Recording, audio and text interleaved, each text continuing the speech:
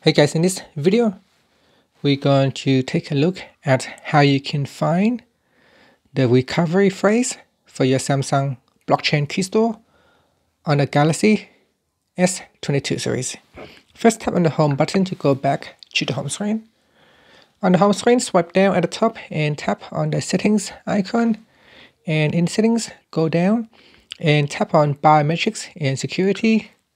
Next, we go down and tap on Samsung Blockchain Key Store. Then we go down and tap on View Recovery Phrase. Then tap on View.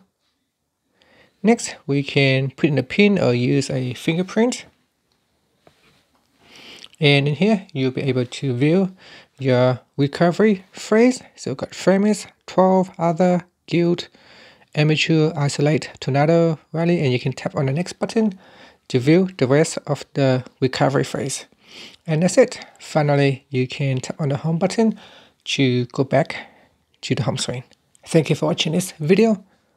Please subscribe to my channel for more videos.